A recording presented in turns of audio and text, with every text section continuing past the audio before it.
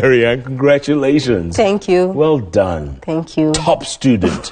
and Kenya High, incredible. 76 A's. 76 A's. What, what is it? Come on, uh, explain to me. Wh- Why the change now? Why now? Um, it's really God, first of all. Wh- I'm sorry, who? What? It's really God who enabled us because we are like a really religious school and He has always been there for So us. We God really prayed. showed up. Finally, yes.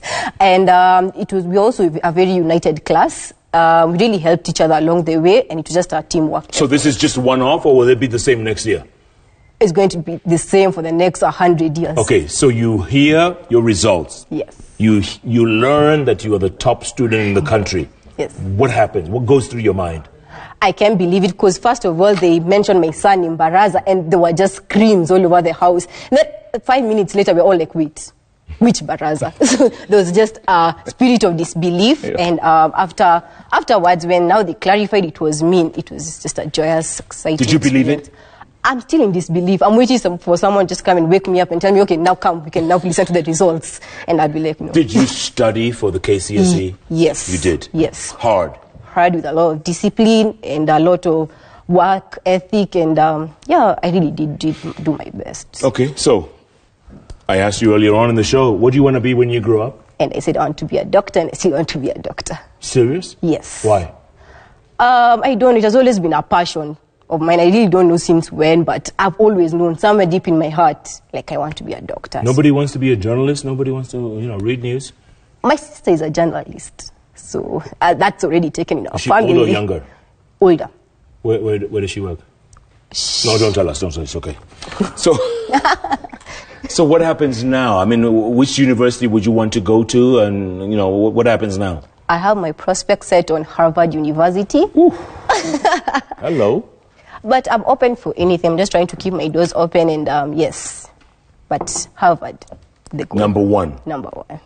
Good for you. Thank Where did you. you grow up? Did you grow up in the in the city in, in Nairobi County. Yes, I actually grew up in a small estate known as Kahawa Sukari, just at the border of actually Kiambu and Nairobi Yeah, County. yeah. And um, yeah, that's where I grew up. I went actually to a primary school just in the estate. How did you do at KCPE? How did you do? I think I did pretty fairly. I got uh, 427 out of 500. Four twenty-seven. Yes.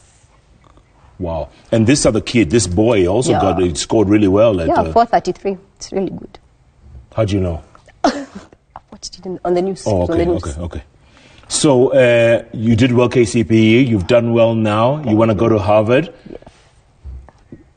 And uh, you're going to get a scholarship. Are you going to be able to afford it, or Uh, I'm looking into joining uh, an organization sponsored actually by Safaricom. It's known as KenSAP. yes? And um, yeah, because like I think they really like just they like take care of most things. Yeah. And um, yeah, that's like a really good organization that will just help me. Like Yeah. if I really want. I saw. I met your mother Yes. in the uh, VIP room, and your aunt, and uh, and the whole village is in there.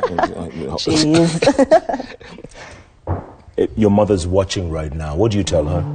Mom, thank you so much. This is as much as your victory as it is mine, and I'm honestly really grateful. Thank you for the prayers. Thank you for the encouraging words, even like when we were at our lowest. You know what I mean. You have always been there. Thank you. I love you so much.